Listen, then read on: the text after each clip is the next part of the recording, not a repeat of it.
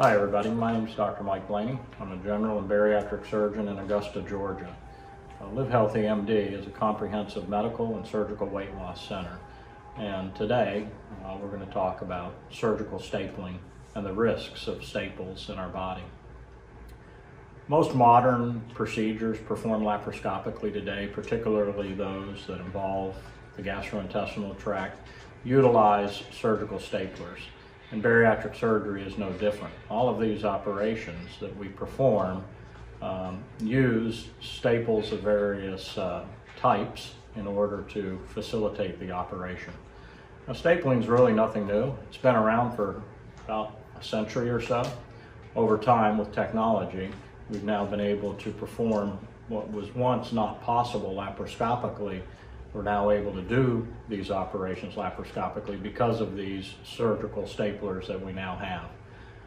Now, stapling tissue is really very similar to stapling paper. I'm sure everybody's familiar with the shape of a regular paper staple. We call it a U shape. When we staple paper, the staple goes through the paper and hits a metal piece, an anvil, and bends inward to form a nicely shaped B. We call this the B shape of the staple. Only difference between paper stapling and stapling tissue as we do in weight loss surgery is that these instruments that we use deploy multiple staples at the same time. The linear stapler that we use most commonly in these operations will fire about 80 staples at once and these staples are fired in a linear arrangement, six rows, and the staples are staggered so there's no gaps. There's a knife blade that will cut down between the middle of those six rows, separating the tissue on both sides. And that's really how we do these operations, and uh, the gastric bypass or the sleeve gastrectomy would not be possible to be performed laparoscopically if we did not have these uh, stapling devices.